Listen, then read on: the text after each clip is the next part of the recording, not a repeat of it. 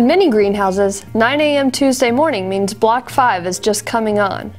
But a group of greenhouse managers are doing things a little differently these days, deciding when to turn the water on and off based on actual conditions at the root level.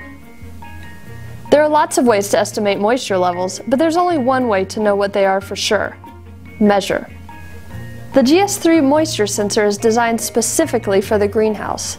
It has an improved ability to measure EC in porous substrates like peat and perlite. Slim stainless steel needles slice through the substrate instead of compacting it. The GS3 lets you see moisture levels from your desk computer in near real time. It's a window into what's actually happening at root level, and it changes how you water. We could look at the dry down on the charts that the system produces